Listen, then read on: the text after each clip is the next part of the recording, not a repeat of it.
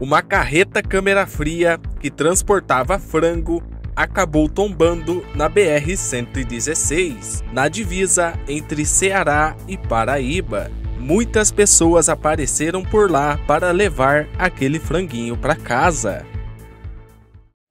Sentido barro.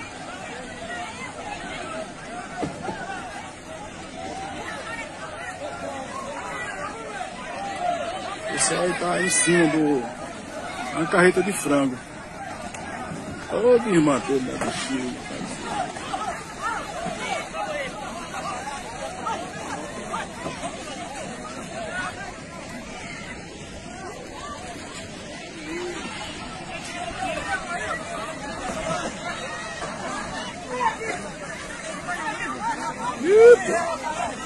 Eu não morro de fome aí durante uns 20 dias.